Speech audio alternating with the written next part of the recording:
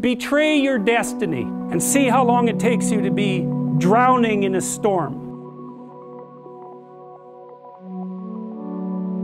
It'll happen immediately, and, and of course it will, because what, what's calling you to be your best is exactly the thing that's pushing you forward to manifest yourself most fully in the world. It's what you need. You run away from that, the boat's going to start to rock very, very quickly. Well, you all know that. You, you know that perfectly well. It, it's pretty bloody obvious. So, anyways, he's on this boat and there's a storm, and all of the people on the boat who, who can't quite discriminate chaos from weather because they haven't differentiated the world to that degree think, oh, the boat wouldn't be about to be swamped if we hadn't, some of us hadn't done something stupid and wrong. There's logic in that. You know, you might think, well, God has nothing personal against you because of the storm, so you're confusing levels of analysis. But you got to give these people some credit. It's like maybe they did do something stupid. Maybe they didn't caulk the damn boat properly. Maybe the ropes aren't in as good a shape as they might be. Maybe they weren't paying attention to the weather when they went out on the ocean.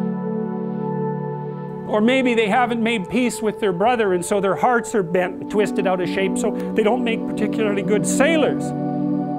It's like the idea that you encounter a storm because you're stupid and wrong is a really good idea, even though it's not of infinite applicability.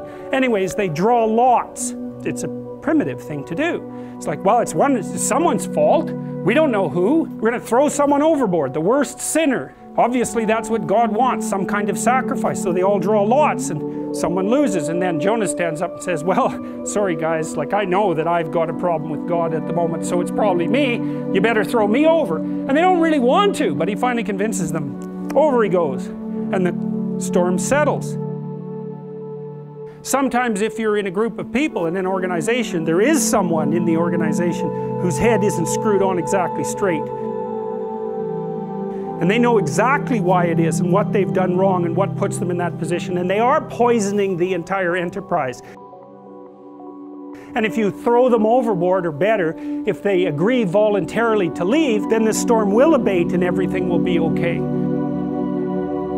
So anyways, they throw Jonah overboard and a whale comes up and swallows him and takes him down to the bottom of the ocean. Well, we already know what that means because we watched Pinocchio. It's like when God abandons you because you've abandoned your destiny and the storms come up, the probability that you're going to be taken down to the, to the depths is extraordinarily high and that happens in people's lives all the time. Also down there, Jonah repents. Well, what do you do when you're in the underworld? You've been there before when things fall apart on you. Your friends have abandoned you. You're not as popular as you could be. You can't stand to look at yourself in the mirror. Into the underworld you go and you think, geez, I've done a lot of things wrong.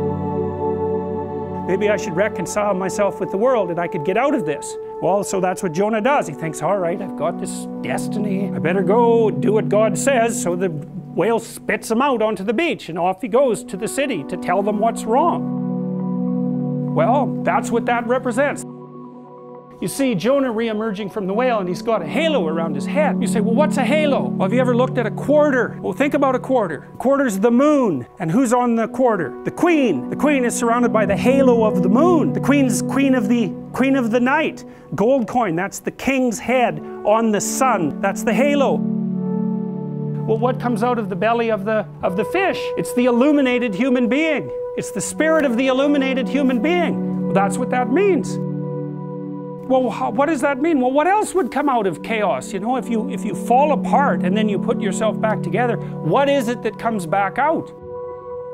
Well, at least you're in better shape than you were before, you know, and, and then maybe you do that 20 times in your life or 50 times and you do it voluntarily.